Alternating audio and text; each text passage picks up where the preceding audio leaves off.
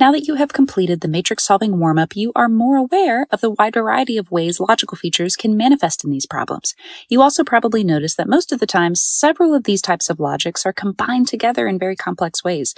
In this video, I will show you the most common patterns of logic you can find in a matrix across its rows, columns, and diagonals this example, the logic here is governed by the change in color, fill, and pattern of the shapes throughout the matrix. If we take a look at our 159 diagonal, we can see that all three of these elements share the same pattern. They are horizontal stripes.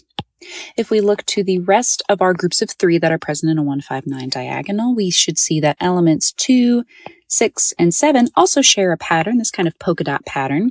And then the last group of three elements, 3, 4, and 8, all share a solid black fill, solid black color, solid black pattern. Sometimes the underlying logic can govern how many shapes or features are present in each element. Some common examples of this include changes of the number of edges of any given shape, the number of curved versus straight lines, the number of shapes within or outside of other shapes, and the number of lines this example, the number of shapes is governed by the logic of our rows and the logic of our columns. If we take a look at the logic of our rows, we can see that the same number of shapes is present in each element throughout the entire row. In the top row, there are five shapes in each element. In the middle row, there are four shapes in each element. And in the bottom row, there are three shapes in each element. From top to bottom in each of our columns, we are removing one of the white shapes. So if we start in our left column, between the first and second element of the column, we are getting rid of one of the white elements. Not that one, the top right one. And then we get rid of the other remaining white element between the second and third elements of that column. Same thing is true of column two. We get rid of the right white element, and then we get rid of the last remaining white element and again in column three. Eliminate the one on the right, eliminate the one on the left. Rotations and flips are very common logic patterns. Usually the entire element will rotate in the same direction, but it is possible for only certain parts of the element to rotate or for different parts of the same element to be rotating in two different ways. In these type of matrix problems, the elements can either be rotated clockwise or counterclockwise. Clockwise is if you were to look at the face of a clock and watch the way the hands naturally move around the clock. If you started from the top, they're moving to the right, down and around the clock. That is clockwise. So if you were to rotate something kind of towards the right side, that would be clockwise. Counterclockwise would be if the hands of the clock moved the opposite way they were supposed to. If you started from the top of the clock, went to the left, down, and around, that would be counterclockwise. Rotations can also be done in different degrees. So if I were to take this triangle, the three most common rotations are 45 degrees, which looks like that, 90 degrees, which looks like this, and 180 degrees, which looks like this. You can also do something that is called a flip, and flips can be both horizontal and vertical. You zoom out just a little bit. A horizontal flip would look like this, and a vertical flip would look like this. Sometimes it's very easy to confuse flips with 180 degree rotations because again, I'll show you this triangle up here when we rotated it 180 degrees. It looks about the same as a 180 degree flip. So what you have to do in questions like this, where they ask you, um, where you're trying to debate whether it is a 180 degree rotation or a flip, um, is just really pay attention to the shape, pay attention to any special patterns or shading that could clue in whether it was flipped as if it was looking in a mirror or if it was rotated. In this example, the rotation of the elements is governed by the logic of our columns. If we take a look at each column from top to bottom, we can see that each element is being rotated 90 degrees clockwise. If I take the first element in column 1 and rotate it 90 degrees clockwise, it matches the element right below it. If I take that next element and rotate it another 90 degrees, it now matches the uh, element right below it in the same column. If we do the same thing for the second column, first element rotated 90 degrees matches the second element of the column, second element of the column rotated 90 degrees again matches the third element of the column. And the same thing will be true in column 3. The first element rotated 90 degrees matches the second element. The second element rotated 90 degrees will match the third element. Whoops, the third element.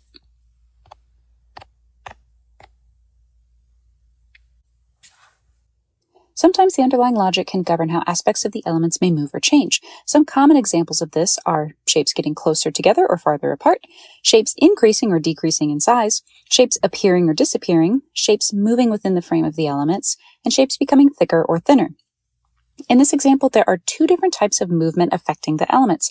From left to right in our rows, the black area in each element is expanding to the right and covering up the gray area. So from left to right in each of our rows, black is slowly becoming the more dominant color and pushing that gray color away. From top to bottom in our columns, parts of the shape are disappearing.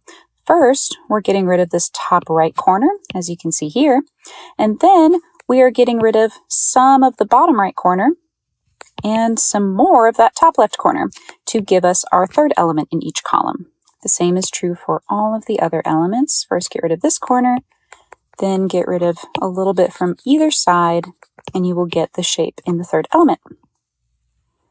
And same is true for our third column as well.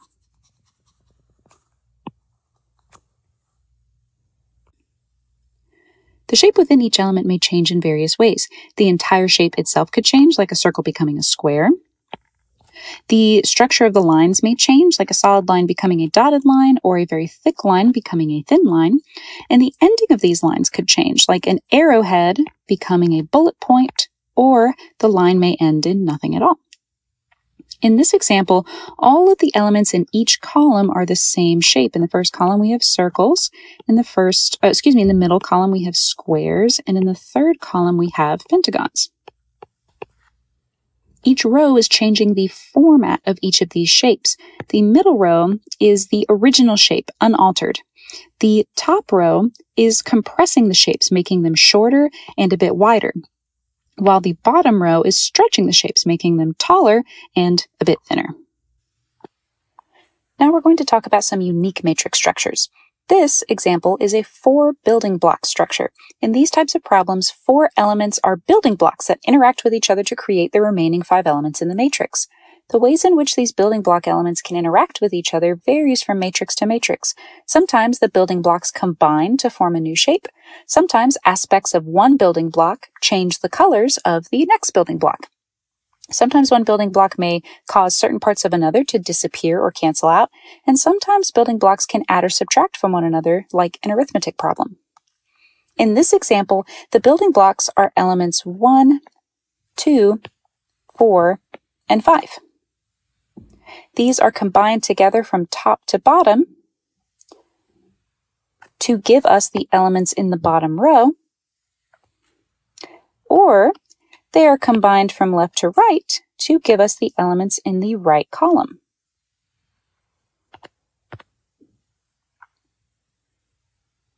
To find the missing element in these cases, it is easiest to combine the elements from the right column together or from the bottom row together. But you could also combine all four of the building blocks together to find your missing element 9. Let's do an example. Here, elements 1, 2, 4, and 5 are our basic building blocks. If we wanted to build our right column of shapes, we would need to take element 1 and combine it with element 2. And that would give us the same shape that we have in element 3. If we wanted to create this shape, we would need to combine element 4 with element 5 to get the shape in element 6. If we wanted to create the bottom row, we would need to combine element 1 to element 4, and that would give us the shape at the bottom of that column. If we wanted to find the bottom of the middle column, we would need to combine elements 2 and 5 to get the shape at the bottom of the middle column. And if we wanted to find our missing element, element 9, we would either have to combine the elements of the third column or the third row to get our missing element, or we could also combine all four building blocks together to get this shape, which will match what we have in element 9. Sometimes in building block matrices, an entire row or column could be made of building blocks. In this case, the entire first row combined with the entire middle row gives us the entire bottom row. So if we wanted to create this element, we would need to add together the shape from element 1 to the shape in the element below it. And that would give us a match of the third element in that column. If we wanted to get this shape down here, we would need to combine the shapes from the first element in that column with the shapes in the second element in that column, and that would give us the third element in that column, which matches this H shape. And finally, if we wanted to, I'm going to draw this one because it will appear a bit better. If we wanted to find the missing element, element 9, we would combine the shapes found in the first and second element of that column, and that would give us a perfect match of the third element in that column, element 9. In this example, the left and the middle columns are the building blocks that create the right column. When we're combining any two elements in the first two columns, the lines that the shapes share are going to cancel out and not be present in that third element. So if we look between element 1 and element 2 and see that these lines are shared by both elements, we can see that those lines are not present in the third element. They have canceled each other out. What remains are the unique shapes and lines that are only present in one of the elements. Let's take a look at the second row. Here, these three lines are shared between the two elements, and that means those three lines are not going to be present in the third element. They have canceled each other out, leaving behind this cross shape that was unique to only one of the elements. In the bottom row, the shapes that are shared are this arch and the line that cuts through the center of the shape, leaving behind just the unique shapes. The shapes that are unique to just one of the elements, this little S shape.